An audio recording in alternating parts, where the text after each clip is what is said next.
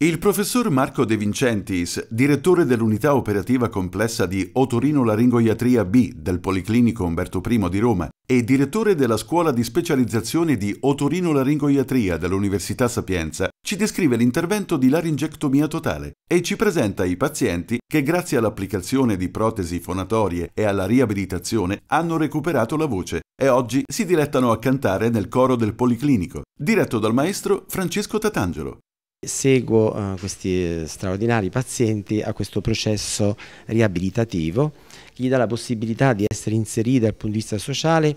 Noi sappiamo che questi pazienti hanno spesso difficoltà ad inserirsi, quindi l'isolamento sociale porta spesso a stati di ansia, depressione e con il passare del tempo anche al decadimento cognitivo. Un elemento da considerare è proprio l'utilizzazione della musica in termini terapeutico per migliorare la fonazione del paziente e quindi la vita di relazione. Ma un elemento importante è che eh, utilizziamo una tecnica particolare che ci permette di intonare note di diversa altezza e questa modulazione della frequenza del suono viene applicato anche nel linguaggio parlato e quindi è un elemento fondamentale non solo ludico, ricreativo, ma veramente riabilitativo.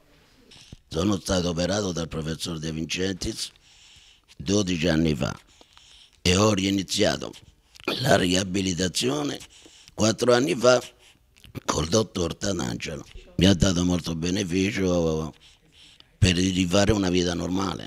Sono stato operato circa cinque anni fa dal professor Mini e quattro anni fa ho iniziato l'abilitazione col dottor Tatangelo che ci ha cominciato a far cantare e ha aiutato tanto per, per, per, per poter parlare. Loro sono dei pazienti con cui il destino è stato avverso perché hanno subito un intervento mutilante, cioè hanno fatto una laringectomia totale.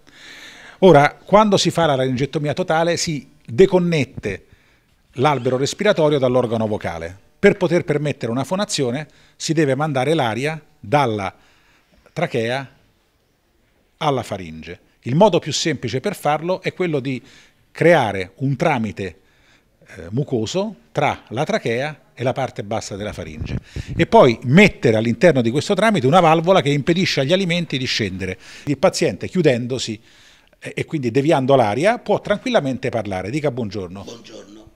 Quasi lasciando ad un altro la notte diventi sole, diventi sole, quasi lasciando quasi lasciando ad un altro la notte. Il futuro è quello che noi abbiamo presentato con Horizon 2020, è un progetto, io ho brevettato uno scaffold per la semina delle cellule staminali per ricostituire una laringe semplificata, ovvero una cricoide con soprastante una ritenoide, in modo da eh, poter poi ridare al paziente la funzione fonatoria deglutitoria e la chiusura del buco, perché alla fine la cosa più importante è la chiusura del, del tracheostoma.